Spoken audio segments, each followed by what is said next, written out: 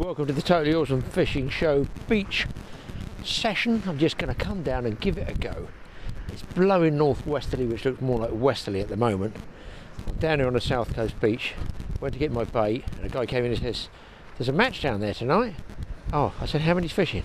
60 people fishing. So I was going to fish way down there by what they call the golf club. I'm trying to keep away from everybody now.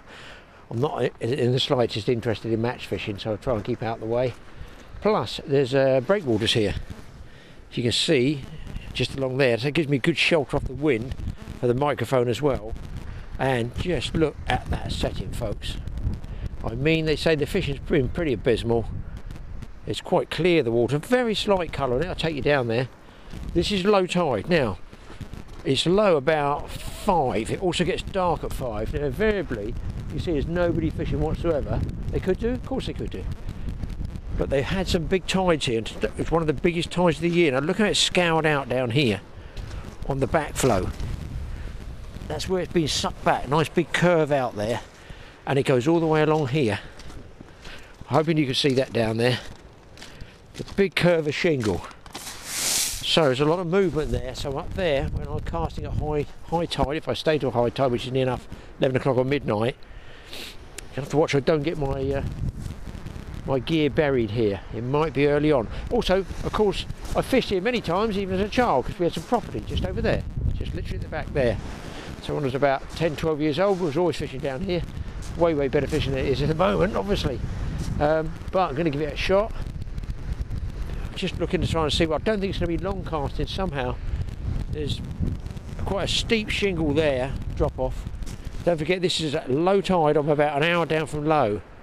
It's quite steep up here, and it curves up and goes under there. So I guess it's high water, maybe just on the start of the flood. Listen, I don't know what I'm going to catch. You know what beach fishing is, people. Everybody's in it the same together, and we're all in it together.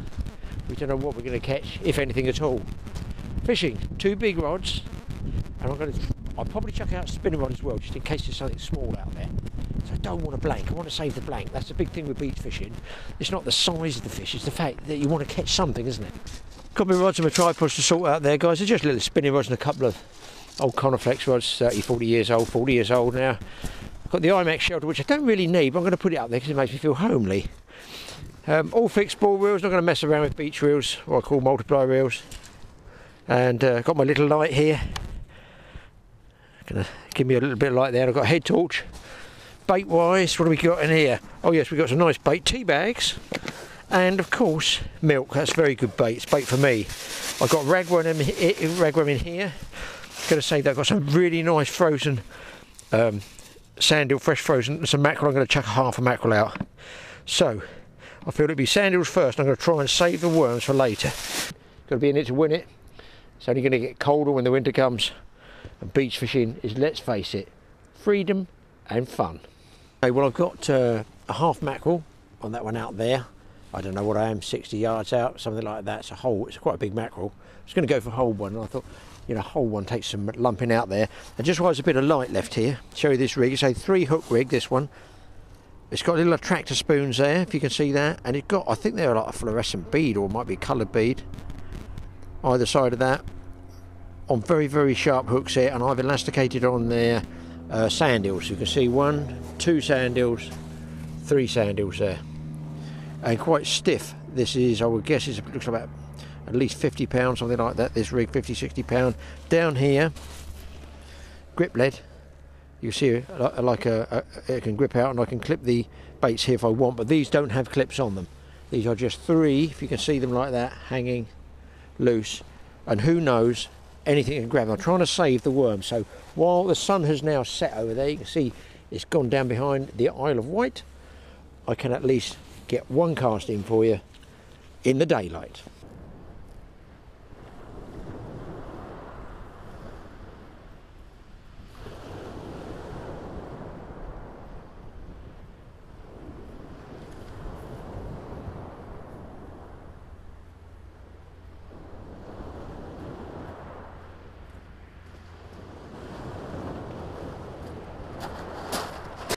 Well, this is the same uh, rig on the spinning rod.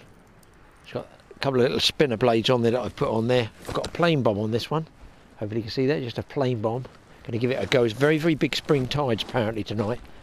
So who knows? A lot of rain over there, which I hope doesn't come my way. But I'm going to get the baits out first. It's bottom of the tide in about half an hour, I think. Then it should turn and come in. And hopefully that'll add a bit of uh, movement to the water and it should get something feeding, one hopes. Hopefully they don't come down here with a match and say, oh, you're fishing in my sport. I've, I've driven, I've come one and a half miles away from the alleged hotspot of the inn on the beach where they, I was told that uh, is the best place, way, way down there. So I thought, I'm to, wherever the people are, I'll go in the opposite direction. Might be in the best fishing spot, but peace and solitude.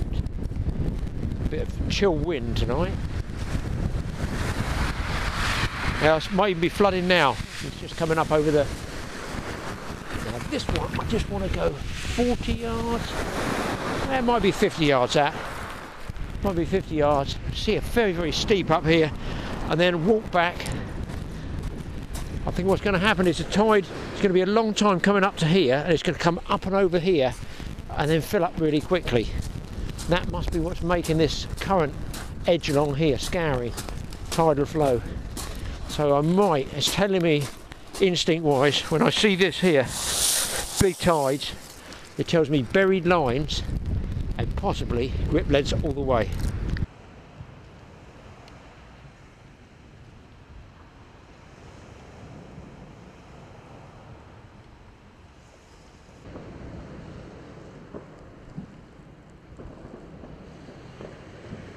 You can't beat a cup of tea before you get started.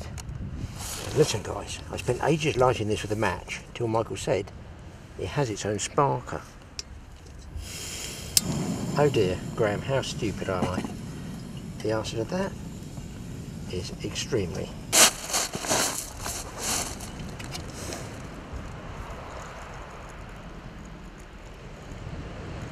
How long have I been here guys? 30 minutes? I drove one and a half miles away from where they said they were going to do all the match fishing. And the guy's just come up he's pegging a match and he's pegged somebody, poor chap, about 30 yards. They've got three miles of beach, but they've got to peg a guy next to me. It's not me, I don't uh, feel too bad. Obviously I was here first, nobody owns the beach. A little bit annoying really, I feel sorry for the, the guy himself to be honest. Uh, you know, if he starts getting tagged with my lines because I was here first, it's not really fair on him, is it? They shouldn't peg that.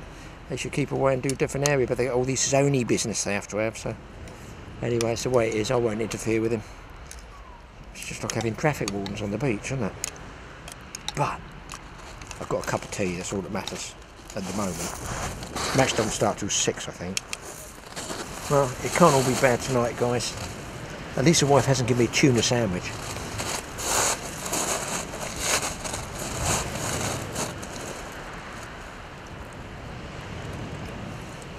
The old match is in full swing. Headlamps flashing all over the place. Guys casting out frantically, checking all their baits, making sure they've got the most perfect bait. But it looks like to me there's nothing out there to eat those perfect baits. I've just wound one set of uh, sand eels in, absolutely pristine, untouched. They've been out an hour. My big half mackerel's been out one and a half hours, nothing. Probably going to give it till nearly seven o'clock. Then I'm going to wheel them in and I will bait up with some worms as well and see what we can get. At the moment, very, very quiet. And the downside is I think this northwesterly is picking up, pushing the cloud that way to the east. The moon's rising in the east, full moon comes out, that's generally the kiss of death. But listen, I'm out here like all these other guys, trying.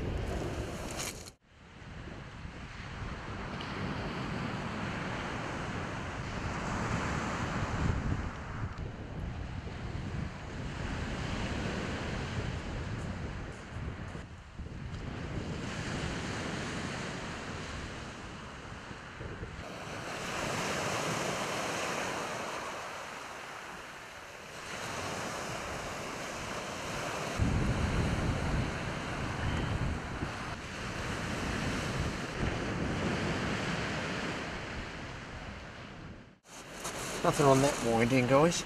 Uh, just a little tip. If you are fishing two rods. A lot of guys fish two rods. They tend to fish a pair of rods, big rods, or a pair of spinning rods closer in. I like to mix it all up. Big baits, small baits, different types of baits, one out and one in. Now, that's fine during the daytime, but when it's dark, very often you'll cross lines. So the best way I find is to bring both in together, send the small one out first, the, the close in one first, so you're targeting 40 yards first for small fish, and then you'll cast past with your bigger bait over the small line it shouldn't cross. If you cast your big line out first, we say, the big bait or whatever bait it is, the furthest distance, the longest distance, the chances are about 50-50 that you're going to cast over the top of that with your short line. Just a basic tip that I've done for years is trying to get the short line out first and then cast your bigger bait further distance rod after that so you go over the top of the inshore one. Start piling some worms on guys. But basically nothing's eating them. It's basically it's just soft. Been out in the boat a couple of trips. He's had a couple of uh, away days out in the boat fishing off the Isle of Wight. And been in and out my cool box. If I just bind it and bind it and bind it whip it around the shank making absolutely sure you keep that hook point clear but there's the rig that's the bait there. All bound up. We're going to clip it up and send it back out there.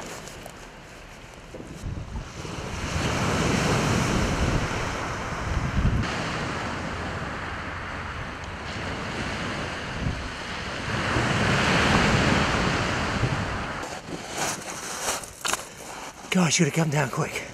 I just run up. I've run my baits in. Got a really big fish. I'll take you down there. Oh man, I hope it's still on. I've left it just above the waterline. Come and check this out. Whole, well, not a whole mackerel, three quarters of a mackerel. Oh man, I should be in the match. Let's hope it's still there, guys. I've got the rod in the rest. I'm gonna wind down. Hope I've got it far enough up Let's see. We're do this in stages, people. There he is. Man alive, it's a ray.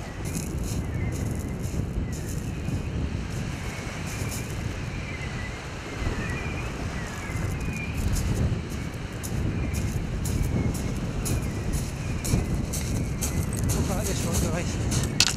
Ha! Mackerel. Let's turn it around for you.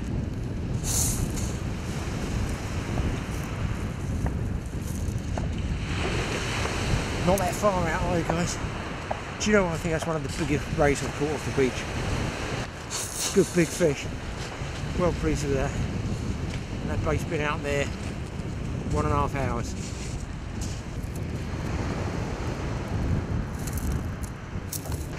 Well there we go people.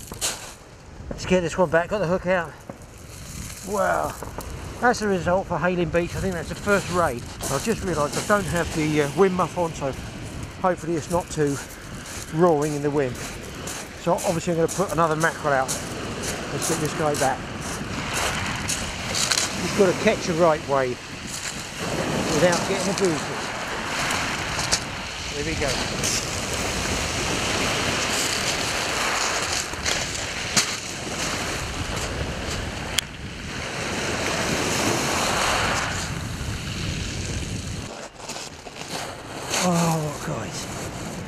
Fixed spool reel, grip lead, pennel rig, half, half a mackerel. What a result, and a big ray for me. Now, another mackerel tail's going out.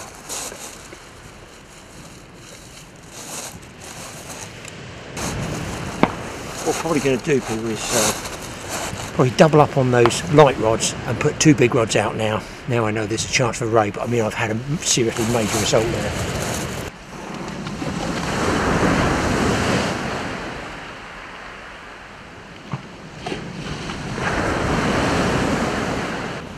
Well, over the years of making all these totally awesome fishing films, I have lost a huge amount of fish, missed a lot of fish and everything, trying to get the damn camera working. And that's once that I actually thought, do you know what? Screw the camera, I want to catch the fish first. What a good job I did. at least you get to see it, hopefully. I haven't checked it yet. I'll never check on the uh, camera in case it's bad luck till I get home. So, what I'm going to do now, I think, is have something to eat. I've got two rods out with half mackerel, a head and a tail section. Still got your small baits out there. I think I'm going to have spaghetti bolognese to celebrate.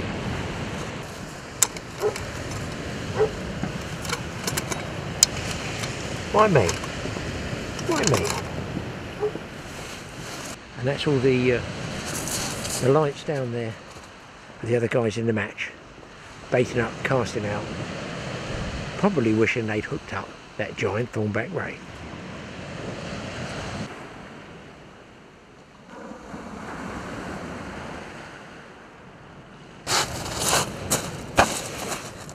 Go, starting to bubble up a bit. I'm, I'm quite a past master actually of sticking this to the bottom of the saucepan. But I do like spaghetti bolognese and it warms you up on a cold winter's night on the beach. The secret is don't have that gas up too high, that is the secret. These little burners are really, really good. What I will do is I'm going to change this wind muff guys in case I get another. Which is, show you, it's that one, which is the standard one.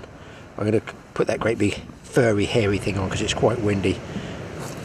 And that is this giant furry one there. Let's get that on there for you. If I do, by some obscure chance, actually go and catch another fish, hopefully the sound will be okay. The bangs you can hear is actually uh, the November 5th or 4th fireworks going off. Come on. Come on, come on, come on, heat up.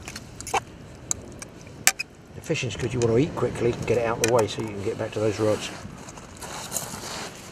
Well, if you do get a draft, there's a slight wind blowing that flame. If you get one of these things, you can fold them out. They're only very light to carry.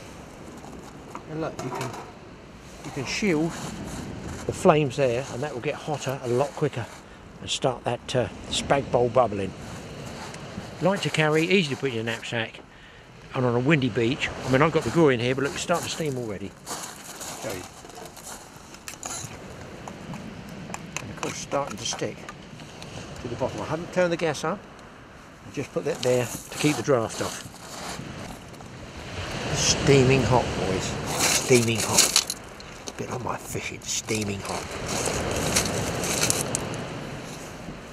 Don't put hot sauce on your leg, round. Cannot beat. Cook up on the beach. It's very hot.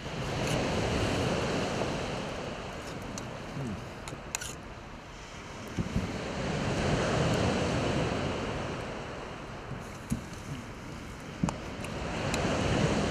I think we can put in this, you can put in sausages, cooked ones, and hot dogs are really good because they're sort of cooked in the tin anyway, you can eat those cold. If you cut them up in segments and put them inside this as well. If you want to know how I know when I've got a bite, eating this up here on the base camp, the way down there, is that I catch fish so large, it sends a tremor through the shingle.